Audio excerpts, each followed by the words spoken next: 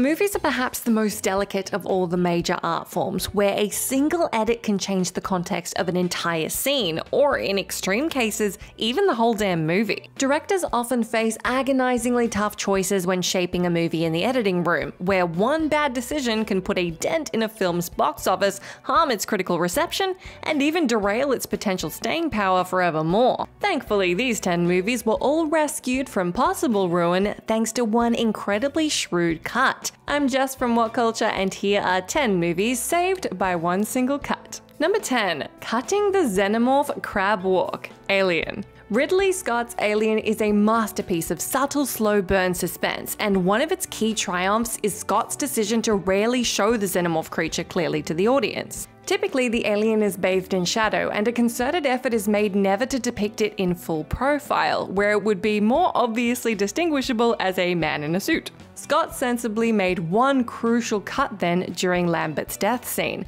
which originally contained a lengthy shot where the xenomorph crab walks towards her on all fours before standing up in a distinctly humanoid fashion. The unintentionally hilarious moment would have instantly sucked the tension out of not only the scene, but perhaps the rest of the movie, morphing Alien from a gut wrenching horror into an accidental comedy. This honestly might be one of the shrewdest directorial calls of Scott's entire career. Number 9. Cutting Sloane's Sexist Dialogue Ferris Bueller's Day Off. Ferris Bueller's Day Off is such a relentlessly charming movie that it's tough to consider the film was ever at risk of not finding an audience, but test screenings indicated one specific moment that very nearly tanked the entire thing. According to former Paramount VP Lindsay Doran, there was originally a brief exchange after the parade sequence where Sloane says, A girl can always bail out and have a baby and get some guy to support her, while suggesting that men have it much harder than women in life. This resulted in the film receiving incredibly low test scores from young female viewers, who noted their particular dislike for the single line in the feedback cards. Though producer Tom Jacobson insists the line was meant to be an ironic criticism of that perspective rather than an endorsement of it, it certainly didn't hit with viewers the way the filmmakers intended, and so the decision was made to snip it. As a result, young female test scores skyrocketed approximately 40 points, which Doran says is one of the most dramatic test screening improvements she's ever seen. And it all came down to what was a single dud line of dialogue. Number 8. Cutting Sergeant Candy Terminator 3 Rise of the Machines. Though few would profess the third Terminator film to stand tall among its predecessors, it is the sturdiest of all the post T2 sequels, even if many felt that it leaned too far into farce with its sometimes cringeworthy humour. Director Jonathan Mostow at least had the good sense to cut a scene which would have undeniably tipped the balance too far in the realm of goofiness. The scene in question was basically written to explain why the T800 has an implausible Austrian accent, playing as a commercial for Cyber Research Systems' line of cyborgs. We see one of the T800s running on a treadmill before it introduces itself as Sergeant William Candy, complete with a stereotypical Southern American accent, the implication being that this is the likeness of the real person on whom the machine line is based. When one of the CRS executives suggests the voice wouldn't work, one of his underlings replies, We can fix it, in a familiar Austrian accent that was very clearly dubbed over by Schwarzenegger himself. Though it does explain how the T 800 ended up with Arnie's inexplicable accent, the scene feels more like it belongs in Starship Troopers than a Terminator movie, and would have created major tonal whiplash from which the film would have never recovered. Number 7. Cutting the Darker Ending American History X. American History X is a masterful drama starring Edward Norton as Derek Vinyard, a rehabilitated neo Nazi who attempts to prevent his brother Danny from following his own hateful path. Though you'd never really know it from watching the film itself, which netted Norton a Best Actor Oscar nomination, it went through post production hell as director Tony Kaye feuded with both the studio and Norton over the final cut of the movie, even eventually disowning it. While such stories are typically sympathetic to the filmmaker, in this case it actually sounds like New Line and Norton had a better vision for what the film needed to be, considering that Kaye originally included an added sting in its already bleak ending. The theatrical cut ends with Danny being shot dead at school and Derek cradling his corpse, but Kaye's first cut went beyond this to show Derek shaving his head, pulling out a pistol, and smirking to himself, implying that he's returned to his racist ways. This ending would have hugely undermined Derek's character growth and the tragedy of his arc, leaning back on the lazy, edgy twist ending. Number 6. Cutting Evil Bill's Woman Beating Bill and Ted's Bogus Journey. Bill and Ted's Bogus Journey is a daring and ambitious sequel in many ways, but almost took things too far once evil robot doppelgangers of Bill and Ted arrive on the scene.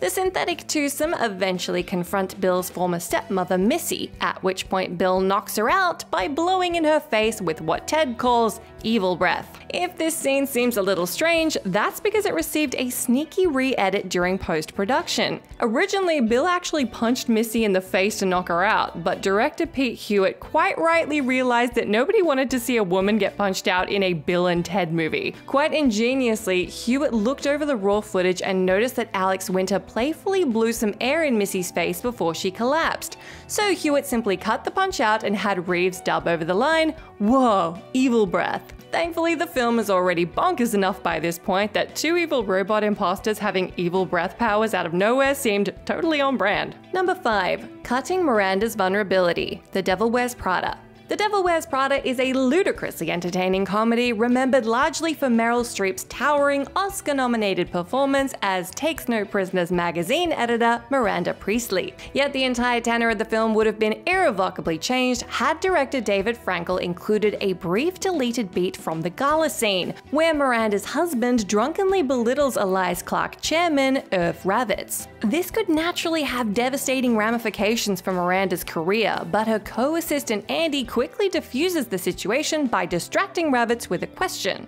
We then cut back to Miranda, who mouths a silent thank you to Andy. It's an interesting moment, albeit one that annihilates the film's delicate tonal balance.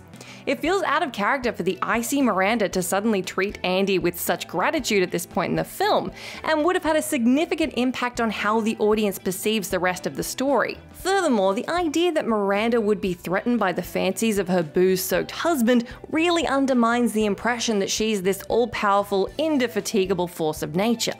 Number 4. Cutting Arwen ah from Helm's Deep The Lord of the Rings The Two Towers. The Lord of the Rings trilogy was a massively ambitious undertaking for director Peter Jackson, and for even the most organized and confident of filmmakers, a sure editorial nightmare.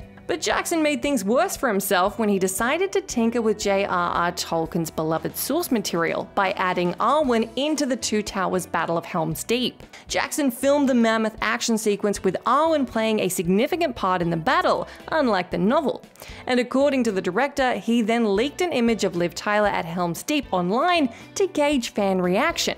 Unsurprisingly, the fan response was near universally negative, some even dubbing Tyler's heroine Arwen Warrior Princess, a la Xena of course, prompting Jackson to cut her out of the sequence. If you look closely though, you can actually see her in the background of a few shots. Now granted, Jackson's trilogy made a ton of changes from the books, but this one was egregious enough that it could have soured fans on what ultimately turned out to be one of the most spectacular battle scenes ever put to film.